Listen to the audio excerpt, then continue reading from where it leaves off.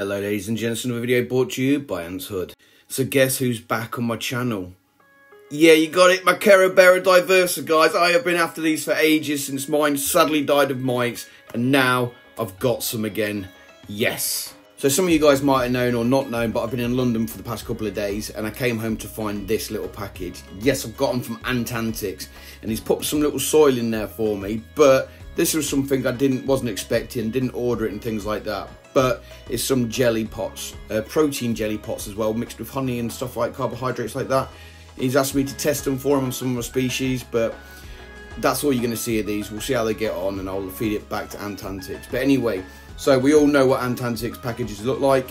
Awesome. But there is some changes of what is actually putting in these now. I completely understand why he's doing it, but I'll talk about that more in a second. Now, as I open this up, now, Ant Antics is one of my Patreon supporters, but I order from them because I just love his quality of and I love his style of packaging and stuff like that. Now, if you've opened it up now, you'll see that that's actually, I was going to say French, French. That's actually Welsh for hello and thank you for the support, I believe. No, thank you for the support. I am not going to pronounce that because the Welsh language is beyond me. But anyway, so we don't get care sheets anymore. We get this, but I'll talk about that more in a second. Uh, I think that's just an empty piece of um, padding for some reason. The standard thing he puts in about not putting them in gel nests. If anyone uses gel nests, you're a lunatic for a queen anyway. But this, this bit here is what we're waiting for. So as I gingerly open up the tissue paper, you'll see you still get those cards with the seal number, which is also on the end of the test tube if you want to check it out what species it is and stuff like that, which is always a nice little gesture. But here it is. Here is what we're waiting for. And look at the size of her. She is huge. There is a little bit of condensation forming, but I'm not too concerned. And let's take a look with a macro lens to see how cool she really is. I am actually keeping a very close eye on her because if you remember rightly, I didn't even realise my last Carebara had mites and they literally got decimated. There is a nice little pile of eggs there, which is awesome. So I'm, what I'm looking out for here is obviously to make sure there's no mites on her. I don't expect for one second there will be because obviously Rich is a really cool guy, Ant Antics, and I don't think he would uh, ever dream of sending any kind of ants with mites and stuff like that. But still need to check it out just in case because I didn't even notice my last one had mites. Here's just some debris that's in there. This is a cockroach which needs taken out, which I haven't done yet. Still haven't done yet. I need to get on that. But he also needs to take in the brood to this cockroach as well. Um, there is some brood there, which is cool.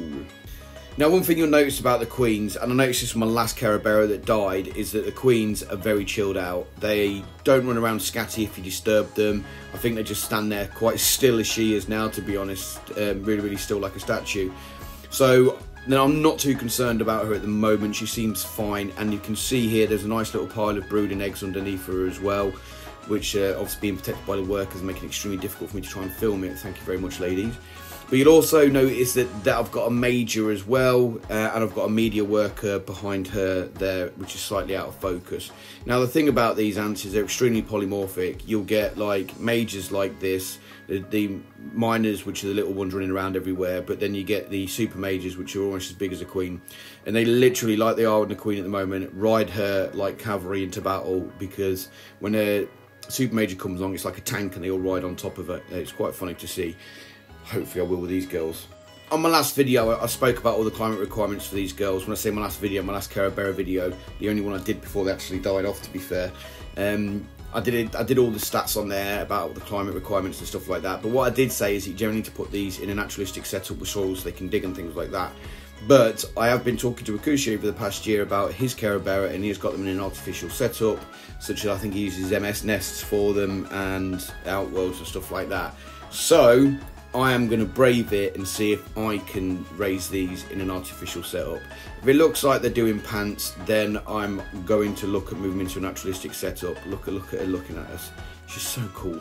She's so big as well. so that's what I'm looking at doing going forward with these. But for the meantime, I'm going to set up a little um, little outworld for them. But before I get ahead of myself, let's go back to this QR code. Now, taking a picture this was quite funny because it kept trying to send me to the website. Right pain, but managed to get one in the end. So anyway, if you scan the QR code, it takes you onto this website. Now it actually takes you to this website, which is what he used to print off and put in with his ants. Now I completely get it, to be fair, because me and another retailer, I can't think who it was actually, were talking about this maybe last year about the cost implications of printing all this stuff off, and it was quite high.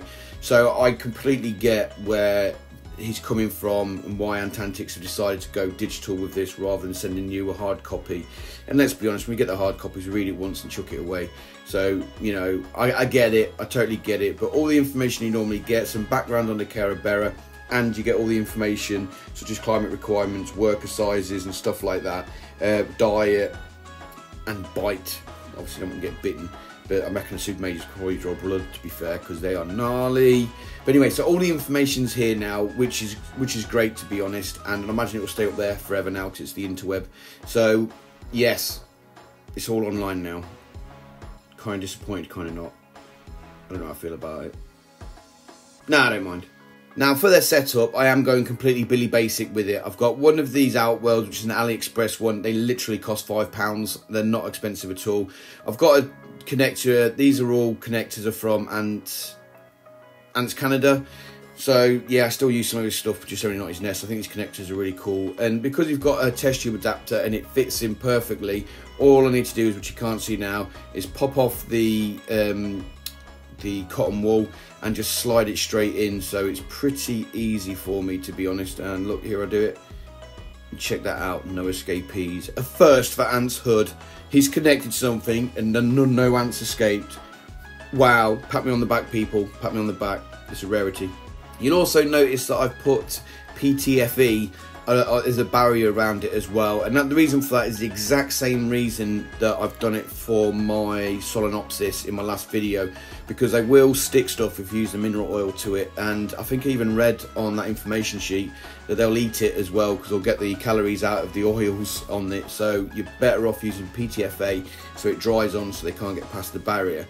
Now, as is a custom for me, I am going to give them some honey water in one of my feeders and I'm going to give them a cockroach as well. But you'd also notice that I've put the old cotton wool that used to put at the end of the test tube underneath the tube and that's just because it was quite a big gap and these minors are, are really small like a couple of millimeters if that now the majors are going to be huge but the minors mm, I wanted to like give them something to walk down on as it were into the outworld now I've put a T-junction here and I'm filming through the T-junction and the reason I've got a T-junction there is so I can expand it going forward without having to disconnect everything and escaping everywhere.